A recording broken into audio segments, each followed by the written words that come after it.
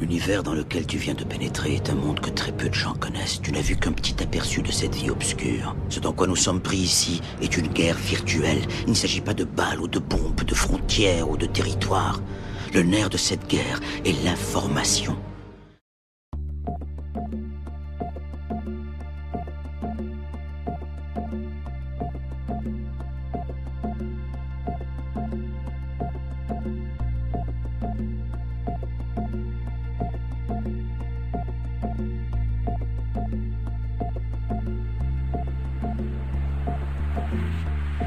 Before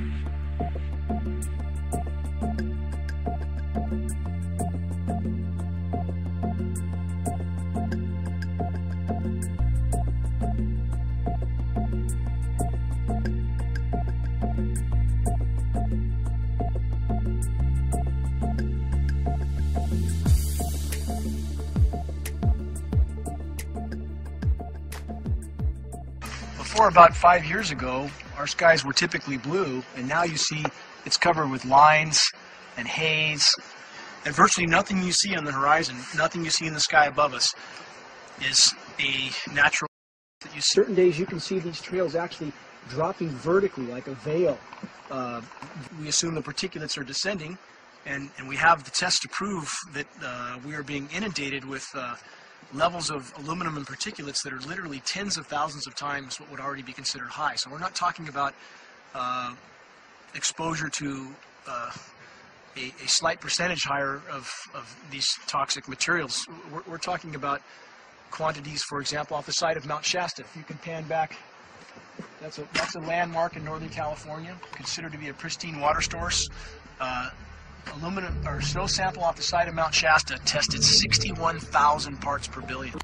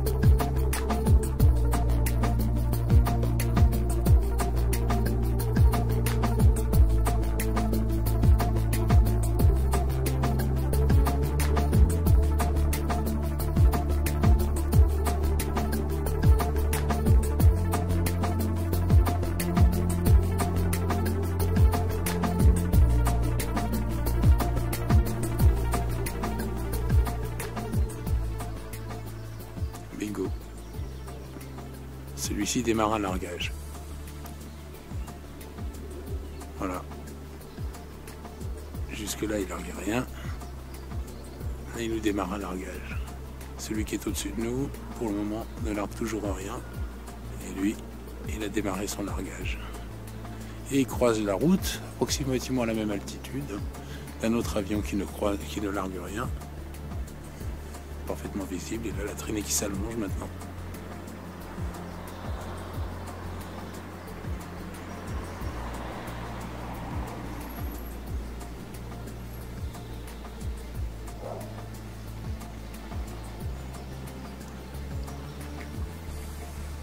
Barium, 83. Strontium, 383. Government action is required at a 1,000. This is 61 times over the government limit. So this summer, the people climbing are drinking poison. Uh, basically, I, I certainly wouldn't want to drink 61,000 micrograms per liter of aluminum. Il y en a un qui vient du sud-est, qui est un vol commercial peut-être, qui est au-dessus de nous maintenant. Et puis il y en a deux qui arrivent là, dont un est en train de faire un largage. Une petite interruption, et qui a repris son largage.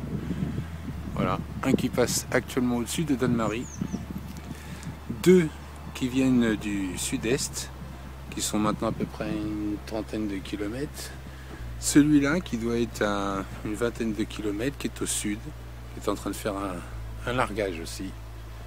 Voilà, et on va retourner jeter un œil sur le site. Le premier qui est en train de faire son largage, c'est ça. Altitude. Et le second qui est juste derrière,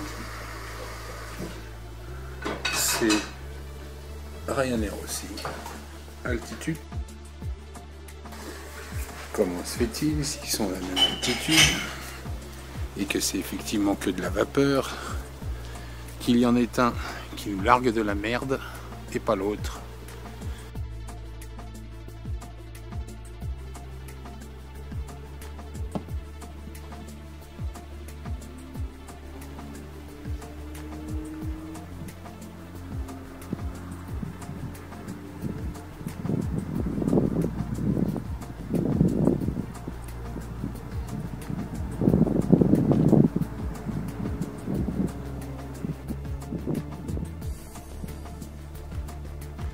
Alors là, on en identifie trois en réalité. Il y en a un en tête, suivi d'un second qui fait le largage dans le même sillage, et puis un autre qui est juste à son côté. Nous avons donc trois, et c'est le premier, celui qui en première position semble être un peu plus haut. On a bien trois avions qui sont identifiés là, train de circuler, qui maintenant arrivent à la hauteur de Donne-Marie-Montilly. On retourne jeter un œil sur le site.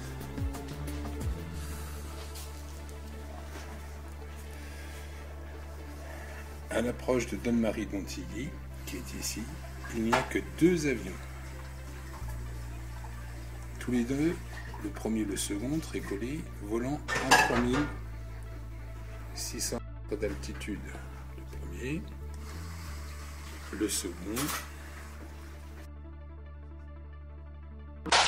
Euh, il ne peut y avoir d'agriculture pérenne que si on est sur des sols vivants. hein. C'est, euh, le sol abrite 80% de la biomasse vivante. hein. Donc si vous tuez, on en a tué 90%, c'est qu'on est en train de tuer tout ce qui est à la source de la vie. C'est quand même les microbes qui nourrissent nos plantes, qui font que nos plantes sont saines, sont nutritives pour nous. euh, Nous avons en ce moment, hein, depuis 20 ans, nous- depuis 20 ans, euh, nous traversons les années les plus sèches depuis 3000 ans dans l'histoire de l'Europe. Et les écologistes, à l'heure actuelle, se posent la question de savoir jusqu'où, à quel moment c'est l'humanité qui commencera à s'écrouler. C'est-à-dire pour le moment, on a détruit 90% de notre biodiversité. En Europe, euh, ça va encore pour nous. Donc les écologistes disent est-ce que c'est à, à 95% que le système va lâcher? Est-ce que c'est...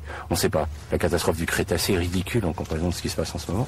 Mais ça meurt, ça meurt, ça meurt. Puis les gens attendent, disent ah, peut-être qu'un jour on va voir quand ça va péter.